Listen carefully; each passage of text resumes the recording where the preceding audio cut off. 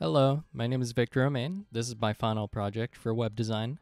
I created a website called Music Matcher. It's supposed to be like a dating website, but to find new music to listen to based on the uh, genre that you select in the application. So on the home page here, we have a download button. It actually works and downloads an exe file that I created in Visual Studio using C Sharp. Next, we have a table here with featured music of the week. We have the artist name and then hyperlinks to Spotify of the song. Uh, in the footer here, we have copyright information and contact details, which opens your desired email application and sends an email to Victor at musicmatcher.com. Obviously, not real email address. Um, so then we have our navigation bar up here. It's animated using Java, and we have the other pages. So about us, Music Matcher is the best way to discover new music and etc etc then we have the download page. Uh, this is the same download button from the home page but down here we do have past versions kind of like in a github sort of style uh, where you can download past versions of it. Each one is not actually a download link but it is uh, made to mimic the feeling of one uh, using the hover attribute in css and then we have the how to use section. So this is uh, how to use the application when you download it. So you download it. This is also hyperlinked to the actual exe file. Uh, you launch it. You select your genre, and it spews out different songs for you under that genre. And step four, Music Matcher has saved the day. You now have new music to listen to. Um, and next we have the need help section, which is a form as a table uh, where you type in your full name, the type of issue, whether it be bug, feedback, suggestion, or if I somehow suggested you uh, music that's not under that genre. Uh, and then you describe the issue in this text area box. It is limited to 678 characters, and you submit it. And then we have the source code, which pretty much is a download link to my code that I used.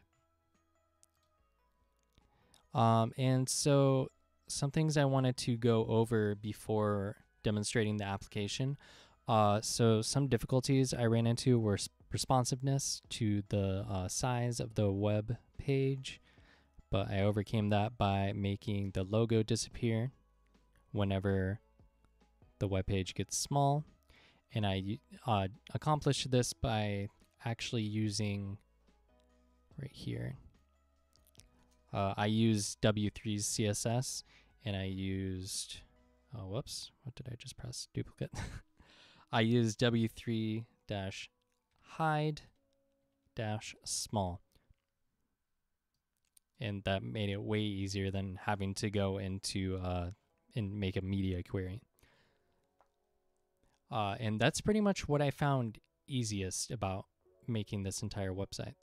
A lot of W3 uh, classes and their CSS came in handy and was actually my main source of using CSS. Uh, I, I, didn't have that much CSS. I did, but I didn't. Uh, it would have been way more if I didn't use W3's uh, classes. And I even used, I even modified one of their classes to uh, import the color palette. So yeah, it really came in handy. Uh, the only other issue I really ran into was just a suggestion from a friend that I should make a table with past past versions of uh, the application, and um, I'll go ahead and launch the application now. So we press keep, and we go ahead and launch it. It launches this right here. It's an exe file, and then you select it. So I selected hip hip hop, and we have Rap Star by Polo G. Astronaut in the Ocean by Masked Wolf, etc., etc., etc. Indie. Are You Bored Yet? featuring Clairo by Wallows, Lo-Fi, Pop, and Rock. And then there's an exit button. And yeah, that is pretty much it. Uh, straightforward, pretty much simple. Uh, I'll go ahead and view other people's websites and give feedback as well. I appreciate everybody watching, and I wanted to thank you. Uh, one more other thing I did want to mention that when uploading to WebDAV, the colors were pretty much off. Uh, when I shrink the web page, it doesn't line up. Don't know why. Uh, and finally, I could not upload my exe file in the resource uh, in the resource file the way that I did with this. Uh, if I press keep, it doesn't do anything, and when I go to show all downloads, it says failed, no file exists.